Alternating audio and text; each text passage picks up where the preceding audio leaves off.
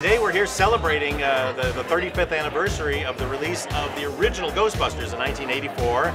It's been 35 years. I was at the opening weekend when I was in uh, film school. I think Ghostbusters stands the test of time because it's a great story about real people who are fighting the paranormal with their brains and with science. They're not superheroes, they don't have supernatural abilities, they're just really smart and they figured out the technology to try to save the world. And I think that will always resonate with, with people because we all go, I could truly be a Ghostbuster. It's just a wonderful story with wonderful detail, very well realized both scripturally and technically. Everything that Bill Murray and Dan Aykroyd had done up until that point was just, you know, strictly comedy. And this was a weird mix, sci-fi, dramatic comedy. A friend of mine was the vice president of Columbia Pictures, Gary LeMel, and he called me up because he thought I'd be the right guy to come up with some music for this particular film. And I guess they had tried like a hundred something people and they didn't like anything.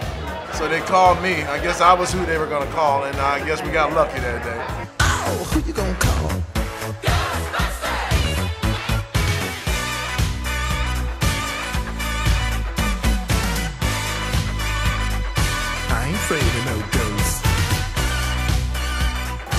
Brought everybody together. All the original cast members are here. People from Extreme Ghostbusters, all the all the cartoons.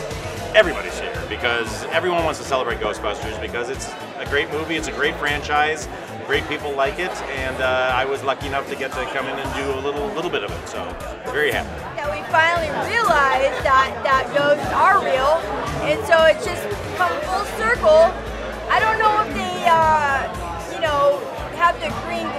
Like like they say, but I know that I've been uh, taken on by ghosts and entities, so I really love the Ghostbusters. Never had any idea at the time that it would go on to become this kind of cult fan favorite. I never imagined that 35 years later we'd be having this discussion. Glad that it's it's a phenomenon. I'm glad that it's one of the most popular things in the world. It's really wonderful.